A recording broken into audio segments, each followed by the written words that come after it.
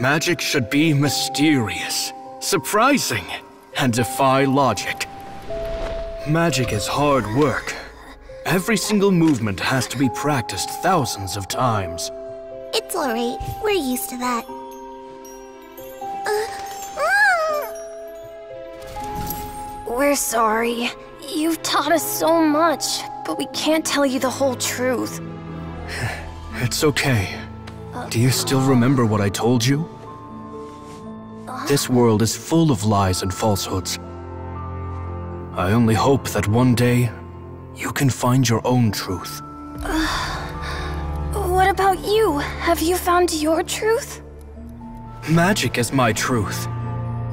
I want to perform a magic trick so great that people will always think of me when they talk about it. For a magician, what greater honor could there be? Look! Behold! Lyney is sealed inside the box. Will he manage to escape? Ten years ago, Caesar attempted this very trick, and it was at this precise moment that...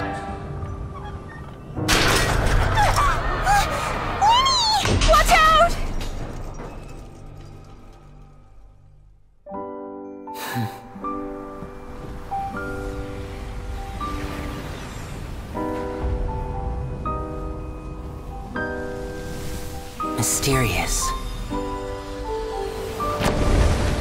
Surprising. And logic defying. Isn't that right?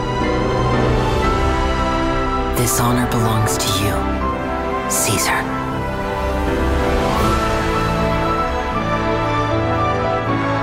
I'm just sorry it's a little late.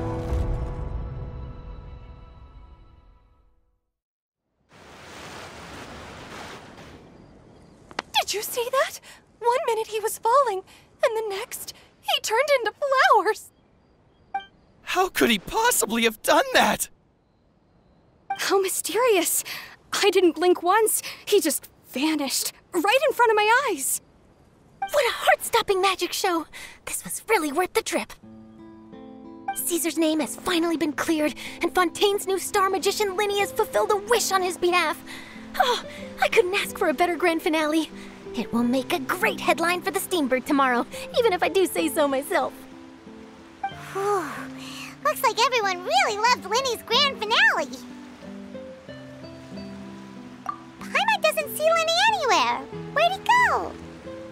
Oh, Lynette said he'd be waiting for us at the usual hunt. But, um, where is that? Oh, you mean the one where Caesar's buried? That's probably it. This whole magic show kinda seemed like Lyney's way of saying goodbye to Caesar. So it makes sense that that's where he'd be afterward. Alright, let's go look for him there.